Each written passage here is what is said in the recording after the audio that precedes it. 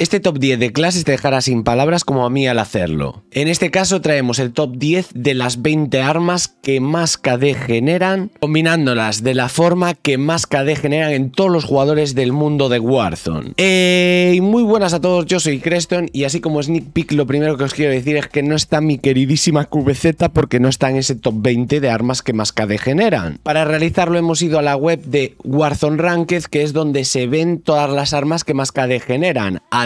Estáis viendo en pantalla que si clicas en un arma, te dice qué accesorios son los que más se piquean y cuáles son los que más KD generan dentro de cada arma. También para hacer el top 10 hemos recurrido a mi base de datos de todas las armas, para algunas en las que los accesorios me generaban demasiadas dudas, a algunas clases de JGoth y a una clase de True Game Data. Así que al final este top 10 tiene mucho curro, espero que os ayude a todos porque son todo clases que generan un KD de locos. Lo primero por lo que quiero empezar es el cambio en cuanto a las ventajas. Existen dos combinaciones de ventajas muy utilizadas dentro de lo que es el Battle Royale Caldera.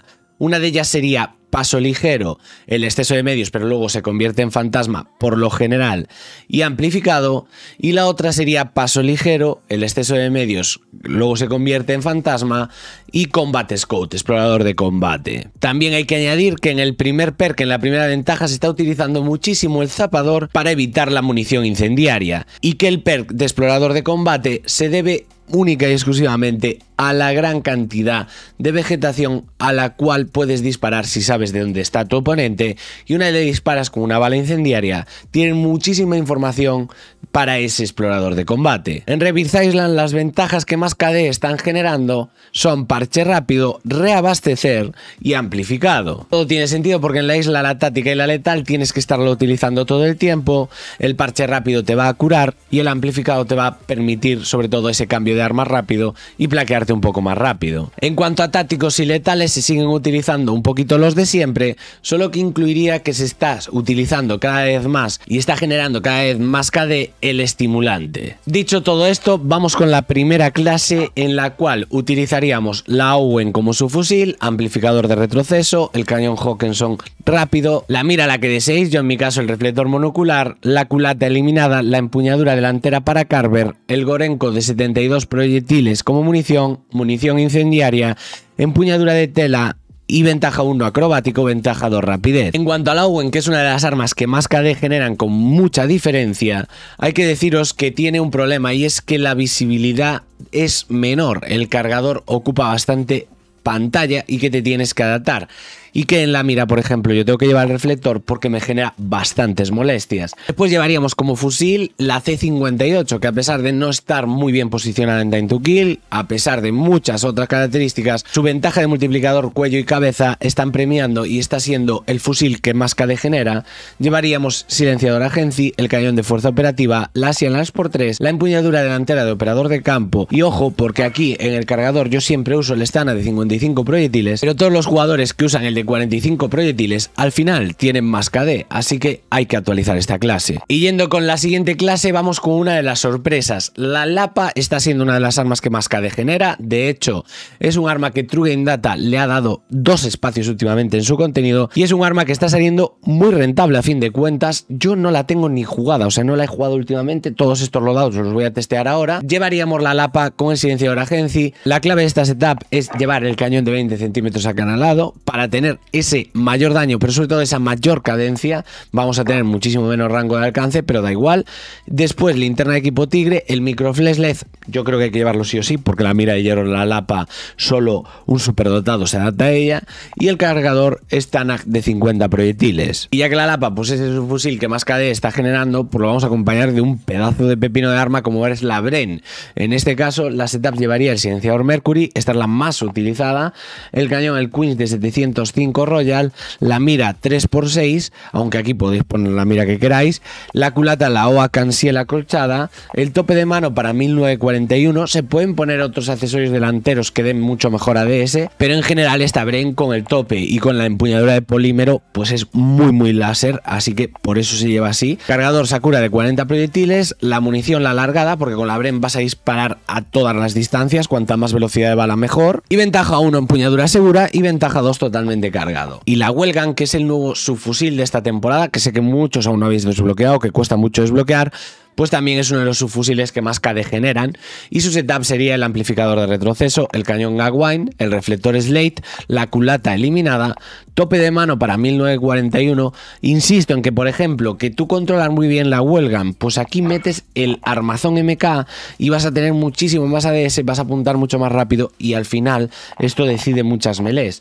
Después, el cargador que recomienda, por ejemplo, Igoz es el de 64 proyectiles. Yo en mi caso me gusta llevar el de 48, pero bueno, que es la setup de voz y esto tiene que funcionar. Munición incendiaria, empuñadura trasera de polímero, ventaja 1 frenético y ventaja 2 rapidez. Supongo que las 64 balas se llaman para sacarle partido a la ventaja de frenético. Así que, pues supongo que es una gran elección. Después, en cuanto a fusil de asalto, otro de los fusiles de asalto que más KD generan es la M2 con silenciador agency, el cañón de fuerza operativa, la Asia Lance por 3, la empuñadura de operador de campo y el cargador de 40 proyectiles, no el de 50, ¿vale? Con el de 40 vas a tener un mejor ADS, vas a apuntar más rápido y vas a tener un poquito más de control del arma. 40 balas de M2 ya es como se dice aquí en Galicia, hay un refrán de gente que está muy fuerte y se dice, hostia que mete familia de luto. Pues eso, la M2 es ese arma. Y aunque ya sea en cuarto loadout, la MP40 también es uno de los subfusiles que más KD genera y en este caso quiero traeros una clase de MEPI que me recomiendo MEPI y que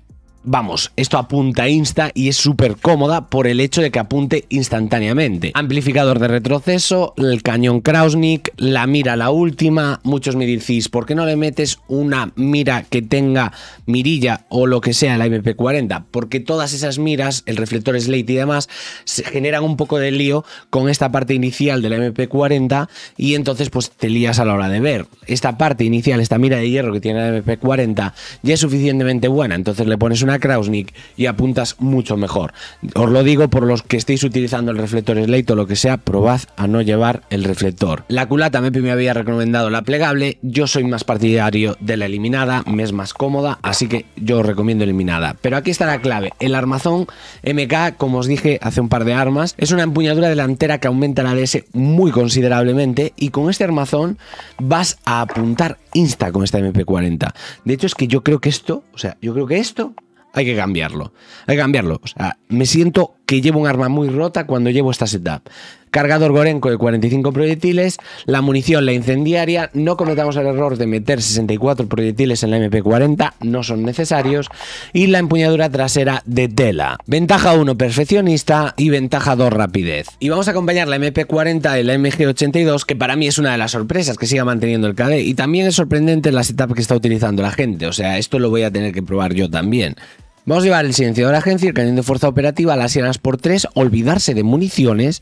La gente prefiere llevar culata rider y la empuñadura de operador de campo para apuntar rápido y que sea un rayo láser. Pues hay que probar esta MG82 que además estéticamente me parece hiper guapa la culata así. ¿eh? En la siguiente clase vamos a utilizar de subfusil la OTS-9 que por cierto la setup de Jigoth incluye la culata armazón KGB y que la culata de armazón KGB había sido nerfeada, pero supongo que será que no es suficientemente nerfeada o que quiere la OTS solo movilidad. Silenciador GRU, empuñadura de patrulla, cargadores de 40 proyectiles, vendaje de serpiente, culata de armazón KGB. Esto corre muchísimo, pero bueno, yo preferiría Internet Equipo Tigre por encima de la culata y es probable que prefiriera el cañón de fuerza operativa por encima de la empuñadura, o sea, es probable que usar esta OTS ahora mismo, pero bueno, la setup de Digoz es la otra. Vamos a acompañar la OTS de la autómata, que es un arma que a mí particularmente no se me da muy bien, pero que resulta que a la gente le está generando muchísimo KD. Por cierto, mirad cómo se mueve ese saco de boxeo, es que Clow ha ido a encender la pantalla. El silenciador MX, el cañón Zack, la mira 2.5, culata de armazón Zack, empuñadura delantera para Carver, el cargador Sakura de 75, la munición alargada, la empuñadura de polímero, ventaja 1, empuñadura segura y ventaja 2 totalmente cargado. He de decir que esta setup concretamente llevo tiempo sin jugarla y me parece que tiene un así a priori un poco lento, que apunta un poco lento, pero bueno, habrá que verlo. Y ahora vamos con una clase en la cual las dos armas pues me sorprenden cada uno por su cosa. Lo primero la PPSH, porque la PPSH full cadera genera muchísimo KD. No me sorprende en este caso que genere KD, me sorprende que se utilice bastante.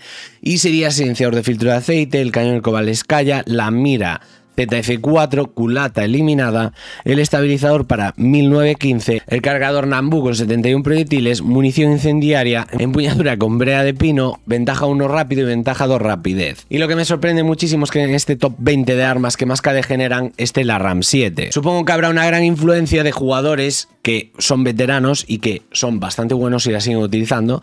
De hecho, a mí la RAM 7 es que siempre me gusta, pero me sorprende, hacía mucho que no la veía yo por un top.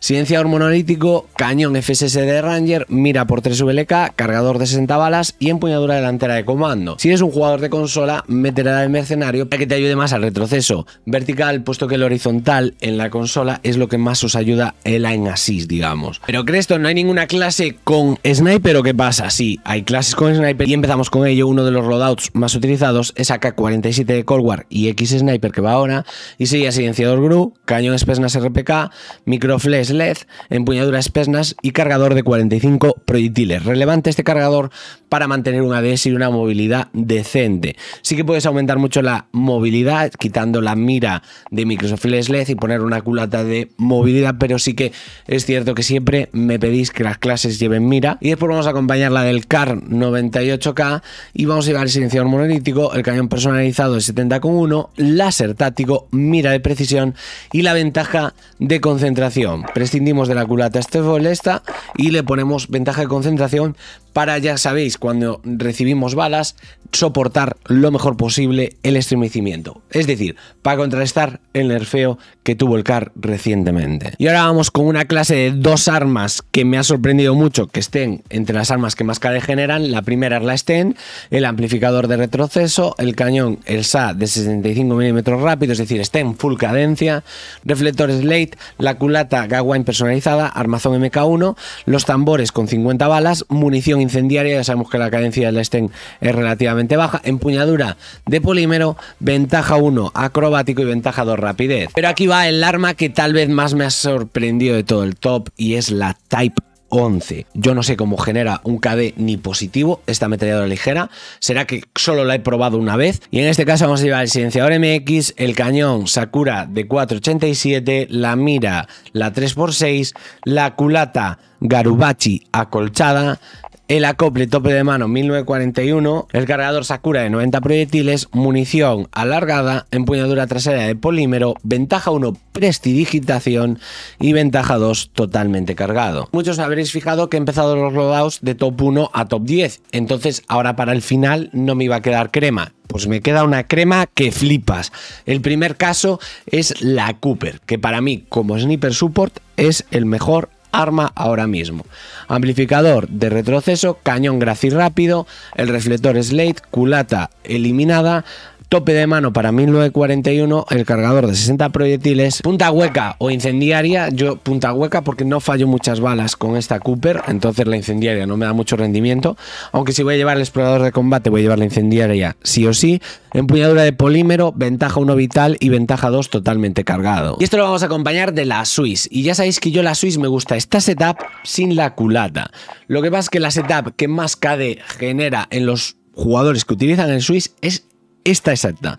Silenciador GRU, cañón de reconocimiento de combate, mira láser SWAT de 5 milivatios, la culata Rider y el vendaje de serpiente. Yo juego justo esta Swiss, solo que sin culata. Y en cuanto a la clase de la caja de reabastecer fantasma, bueno, el segundo perk, la segunda caja, yo recomiendo mucho la MP63. Es el arma secundaria que más KD genera y es el arma secundaria que mejores estadísticas tiene y es el arma secundaria a la que más partido le saco yo, o sea que no tengo discusión. Silenciador Agency, cañón de fuerza operativa, linterna equipo tigre, el stana de 30 proyectiles y el vendaje de serpiente. Y la vamos a acompañar de la Ground, no porque sea una de las armas que más KD genera, que tampoco genera un mal KD, sino porque uno de los vídeos que sacó últimamente Isaac, en el cual demuestra que la Grau es una de las armas que mejor time to kill tiene teniendo en cuenta el ADS, teniendo en cuenta apuntar. Silenciador monolítico, el arcángel, el láser táctico, el acople de empuñadura delantera de comando y el cargador de 60 balas. La vamos a llevar sin mira, entre otras cosas, porque esta es la setup que mejor ADS tiene y es la setup que concretamente compite en Time to Kills y también por el hecho de que en esta clase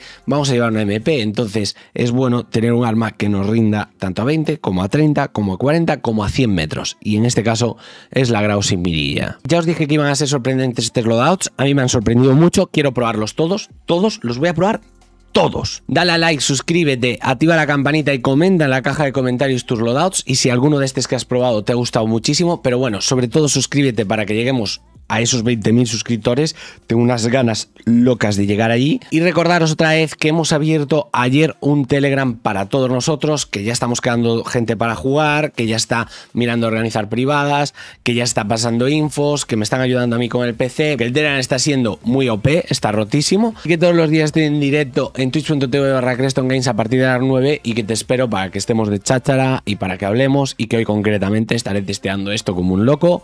Muchísimas gracias, nos vemos en el siguiente vídeo.